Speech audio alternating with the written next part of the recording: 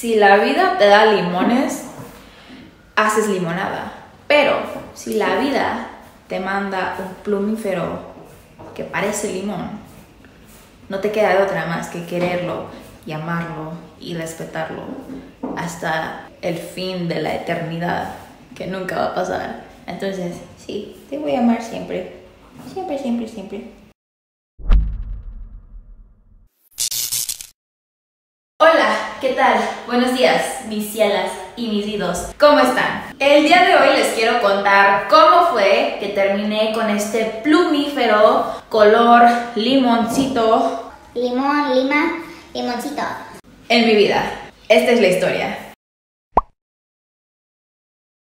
Bueno, pues fui a la casa de un amigo a visitar y dio la coincidencia de que tenía periquitos australianos, una pareja, y esa pareja por primera vez se emparejó y pusieron huevos por primera vez. Aquí ya les estoy enseñando cuando había encontrado el huevito y lo tenía en la mano. Encontré el huevito abajo en la jaula, en el piso de la jaula. No sabía si estaba roto por la caída o porque el bebé trató de salir. En este momento no me quedaba claro, pero bueno, lo que estaba haciendo aquí era más que nada analizando qué estaba pasando. Lo que se puede ver aquí es el bebito se está moviendo y se ve como que ya está desarrollado y listo para nacer. Entonces, yo creo que el huevito empezó a nacer ya en el nido y tuvo dificultades. Ahorita en unos minutos van a ver cuáles fueron las dificultades. No hubiera podido nacer solo y yo creo los papás siendo primerizos sin experiencia lo desecharon del nido. Y eso es algo que hacen los aves en la naturaleza. Cuando creen que uno de los bebés no es viable, prefieren desecharlo antes de dañar a los demás o perjudicar a los demás. Entonces, aquí obviamente es peligroso la temperatura del huevo. Afortunadamente, el cuarto donde estaban es muy tibio,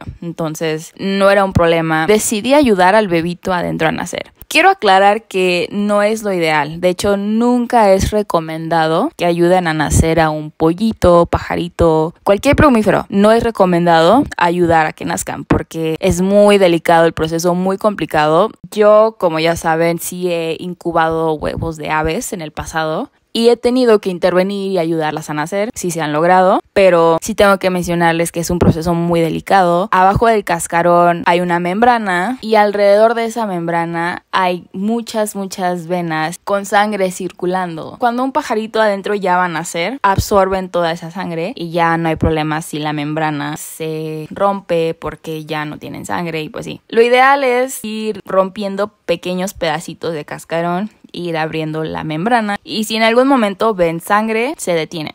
El bebito adentro no está listo para salir del huevo. Eso es más que nada la clave si van a intentar ayudar. Pero bueno, yo aquí decidí ayudar. Esta es la primera vez que lidiaba con un huevito tan pequeño, tan delicado, pero decidí que era necesario. Entonces le pedí a mi amigo unas pinzas para verme más pro, obviamente, no se crean. Pensé que con las pinzas iba a ser como que más delicado, pero la verdad no, no, no tenía tanto control de ellas, terminé usando mis dedos. Lo que fui haciendo fue que poco a poco iba tomando pequeños trozos del cascarón y rompiéndolos. Obviamente después de cada trocito que quitaba, veía cómo reaccionaba el pajarito. Y bueno, yo creo que hubo problemas con la humedad porque la membrana estaba muy seca. Pues pudo haber sido algo ambiental o inexperiencia de los papás, ya que fue la primera vez que incubaban huevos. Y bueno, el punto es de que estaba muy reseco y el bebito la verdad no iba a poder liberarse solo. Ya cuando llegué al fondo, noté que lo que sería como que el cordón umbilical o lo equivalente a cor el cordón umbilical del pajarito estaba muy reseco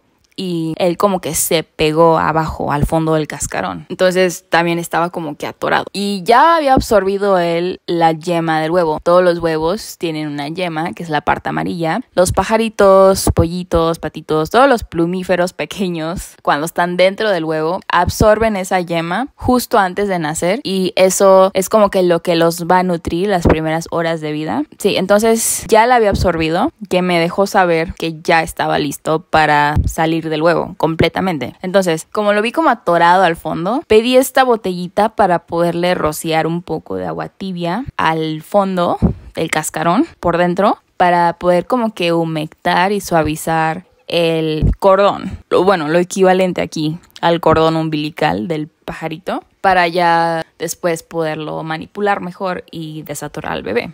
Aquí solamente lo empecé a limpiar, empecé a ver cómo reaccionaba a todo. Yo creo que estaba él muy espantado y preguntándose como de, chica, ¿qué me haces? Oi- Oigan, miren mis uñas, qué asco, la verdad. Perdón porque tengan que verlas en ese estado. Perdón, pero bueno, ya que. Ah, pero sí, ha de haber estado. Bueno, no sé qué sentía el pajarito aquí. No sé qué tanto se dio cuenta de lo que estaba sucediendo. No sé si sepan, pero los pajaritos nacen ciegos y sordos. Entonces, posiblemente no tenía ni la menor idea de lo que le estaba pasando. Solamente sentía mucho movimiento. O puede que sí estuvo muy espantado. Pobrecito, sí, sí. Pero bueno, ya después aquí pasaron unos minutos y el cordón umbilical sí mejoró de elasticidad. Se humectó un poco y pude estirarlo lo suficiente sin dañar al bebé para poder como que meter estas tijeras y cortarlo. Ya después de esto, el pajarito estaba libre, ya podía cantar libre soy, libre soy. Tengo mucho sin ver esa película, quiero verla. Pero bueno, aquí ya estaba libre y la verdad lo veía muy bien. Aparte de todo el problema del nacimiento que tuvo, lo veía muy bien. Entonces, sí, lo ideal y lo que quise intentar fue que los papás lo recibieran de nuevo, ya viéndolo saludable y bien, porque no, no quería yo tener que alimentarlo a mano. Criar un pajarito de este tamaño, alimentarlo es de lo más difícil del mundo. Probabilidades de mortalidad muy altas si intentas criar algo así a mano. Entonces, la verdad, sí, lo ideal era que los papás lo volvieran a recibir. Así que se los acerqué a ver qué pasaba. Lo metí al nido. Después de aquí, pues ya no se vio el pajarito porque pues ya estaba dentro del nido. El nido es pequeño, es oscuro. Pero les cuento que sí lo aceptaron. Lo empezaron a limpiar, a alimentar, a cuidar, a calentarlo. Y sí, todo bien. Misión cumplida ese día. Aquí está el bebecito unos días después, ya cuando estaba grandecito, ya se le ven las plumitas, se ve mucho más grande, crecen demasiado rápido estos pequeñines. Es impresionante. Y bueno, aquí ya tenía plumitas y ya le estaban saliendo sus plumitas amarillas y hermosísimo, hermosísimo.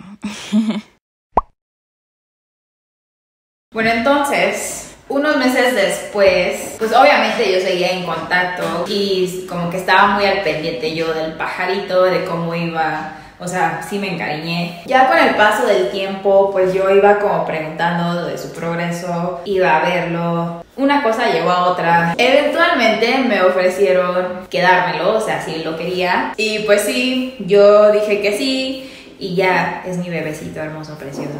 Y sí, esa fue la historia de vida de Zacarías. Ah, se llama Zacarías. Entonces, pues sí, esta es la historia de cómo Zacarías llegó al mundo y a mi vida. Muchísimas gracias por ver el video de hoy. Ojalá y lo disfrutaron mucho. Los veo a la próxima. Los amamos. ¿Verdad que sí, Saca? Los amamos. Bye. Mira, aquí ponte. Esta es una perchera especial para ti. Súbete. Creo que prefiere mi dedo. Súbete. Súbete. Come on, get on. Get on it. Get on it. Creo que no quiere la perchera. No. There you go, how precious you look. Hermoso, te ves precioso, hermoso. Te ves hermoso en tu pechera. Estás hermoso, hermoso.